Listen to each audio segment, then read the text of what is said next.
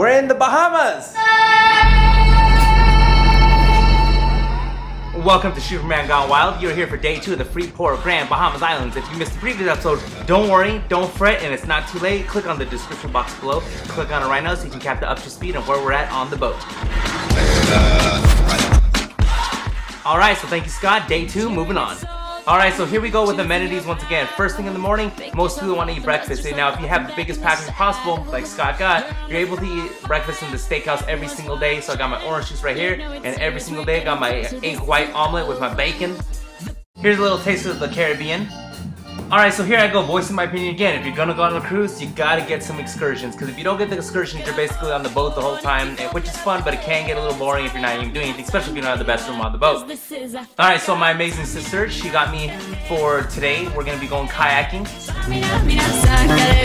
This time for Africa. Beautiful Bahamas. Our kayaks.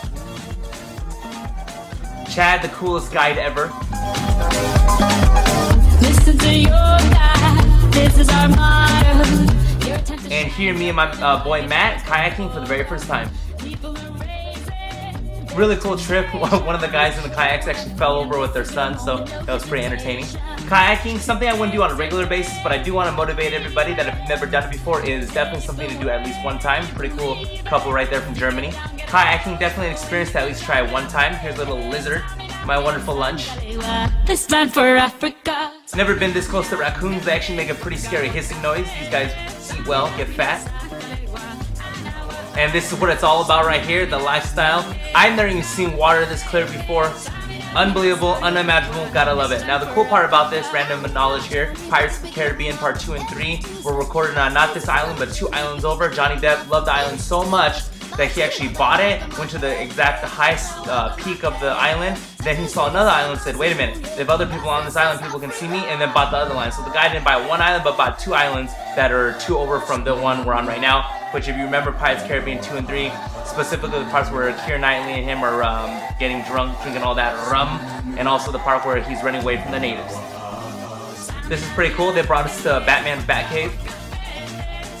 Can only be found in the Bahamas. Bahama Goombay Punch.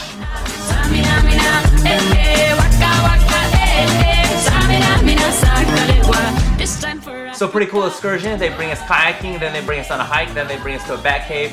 Loved it, enjoyed it, a lot of fun. Now back to the cruise. Got chow mein, some barbecue chicken. Hands down, and if you need hands up, the best drink I had on the entire trip. Pineapple, wonderful thing. A little bit of barbecue for you. Synchronized swimming contest. These guys were pretty funny. More amenities waiting for me just because you're in the room. More amenities, open bar. Lydia again, amazing. Got some baked oysters. Lobster bisque.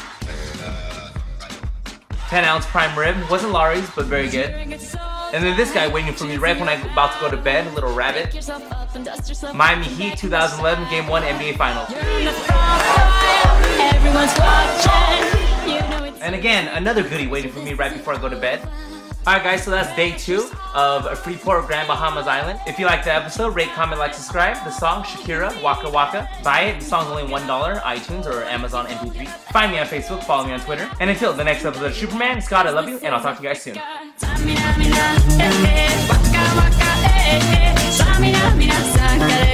This time for Africa.